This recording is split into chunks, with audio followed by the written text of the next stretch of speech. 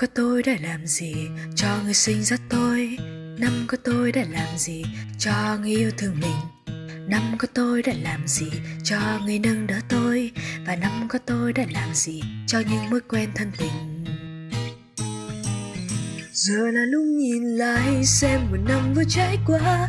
Buồn vui thế nào? Có giận hơn có thứ tha. Hài lòng hay thân vọng?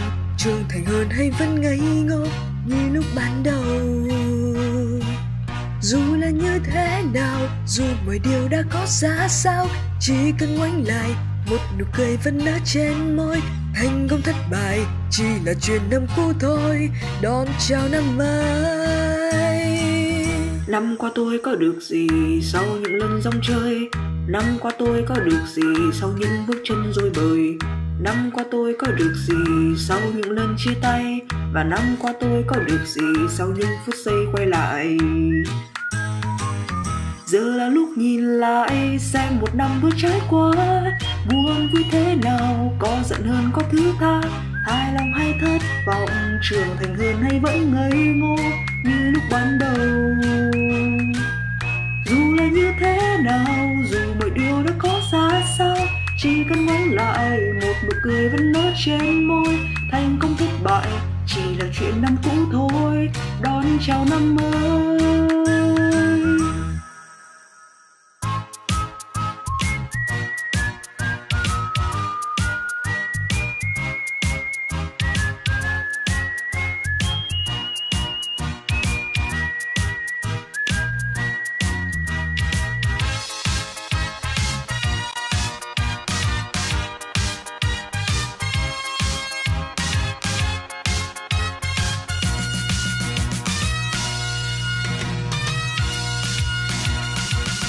Năm qua tôi có được gì sau những lần sóng chơi?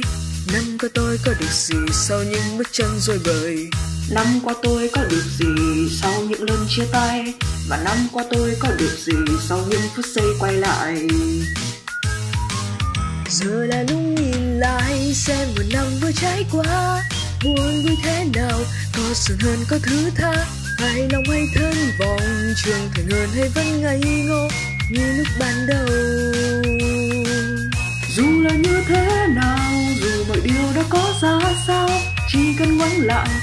nụ cười vẫn nở trên môi. Thành công thất bại, chỉ là chuyện năm cũ thôi.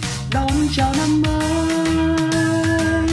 Vậy đã hết một năm bao buồn về vẫn trải qua. Nhìn xem thế nào, có giận hơn có thứ tha. Hài lòng hay thân vọng, trường thành hơn hay vẫn ngây ngô. Như lúc ban đầu,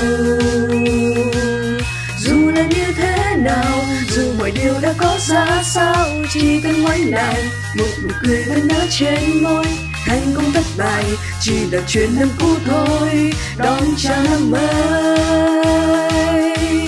Giờ tôi khép lại, thêm một năm nữa đã trôi. Xin chào năm mới.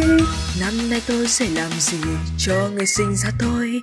Năm nay tôi sẽ làm gì cho người yêu thương mình? Năm nay tôi sẽ làm gì cho người nâng đỡ tôi? Và năm nay tôi sẽ làm gì cho những quen thân tình